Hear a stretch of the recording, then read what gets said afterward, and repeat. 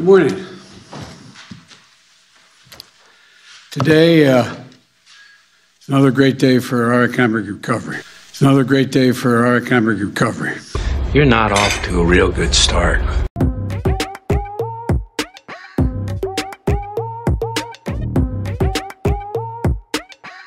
Now we have over 120 million dead from COVID.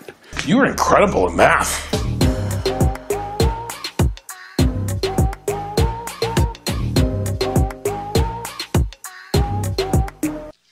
In total, the job creation in the first full nine months of my administration is about 5.6 million new jobs, a record for any new president.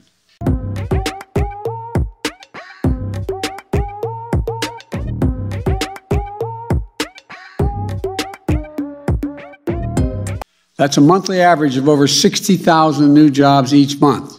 Math, math, math, math, math.